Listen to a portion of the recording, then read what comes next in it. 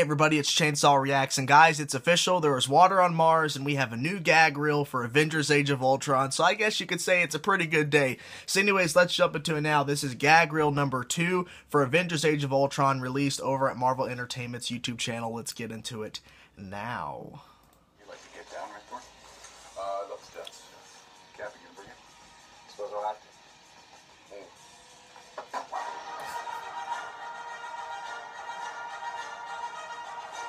Hard to imagine a car hitting you in the face. Would you like to give me some? Wow. Smells like porridge. Oh no! oh. Everyone's kissing each other. Oh. Oh, yep. Yep. Mm hmm. Are you going? Number Kissy kissy. I looked in your head. I saw annihilation. Look again. Look again. Uh. Wait. The CGI Hulk, how'd that mess up?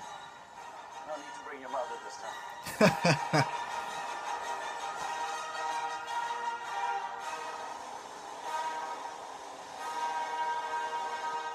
Oh. I'm confused on that last clip. Yes, I'm gonna get it on Blu-ray. Gosh, stop pushing me. okay, so there you have it.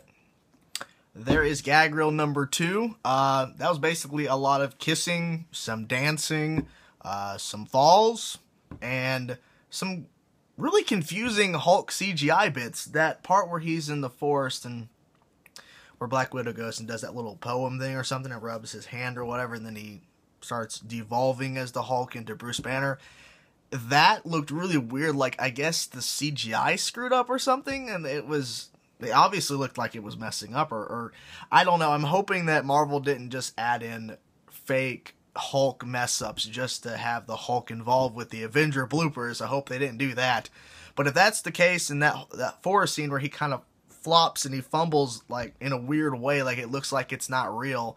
Um, when you first see him do that, uh, if that was an actual CGI mistake, then they, they caught something funny. But uh, this was a pretty interesting gag reel. It's definitely different than the other one because the first gag reel that I watched was um, a lot more of them screwing up their lines, and this one's just random dancing. And then Mark, I believe Mark Ruffalo fell. He like fell down an incline, like he fell, and then he fell over trying to pull up the hammer, which is pretty interesting story on that hammer. Apparently, the hammer they're trying to lift Thor's hammer off the table and they can't. Well, apparently.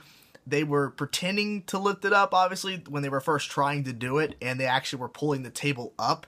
So they basically had to bolt down the table and then on top of that bolt down the hammer. So as hard as they could pull, they could not pull it up because apparently they were pulling up the table by accident, not really giving any force, and they just pick up the table. So it screws up the whole shot. So that's pretty interesting fact on top of the gag reel. But this is pretty interesting gag reel, seeing them all have fun and all that kind of stuff because you know they have to shoot for a very long time for these movies and they have to go on huge press junkets to promote these movies. So it's nice to see that they actually do have fun and they actually get to let loose a little bit uh, behind the scenes because if they didn't they would probably get sick of marvel movies and probably never want to do them and probably want to get out of their contracts if they weren't having fun. But it's cool to see this group of people who are the Avengers now actually had fun on set, so you can actually see that they are actual friends in real life and they're not just there just because of the money. They actually want to be there and they actually do enjoy it, so it's nice to see that as well. What do you guys think of Gag Reel 2 Avengers Age of Ultron? Let me know in the comment section below. Thank you guys for watching my reaction to this. Peace out.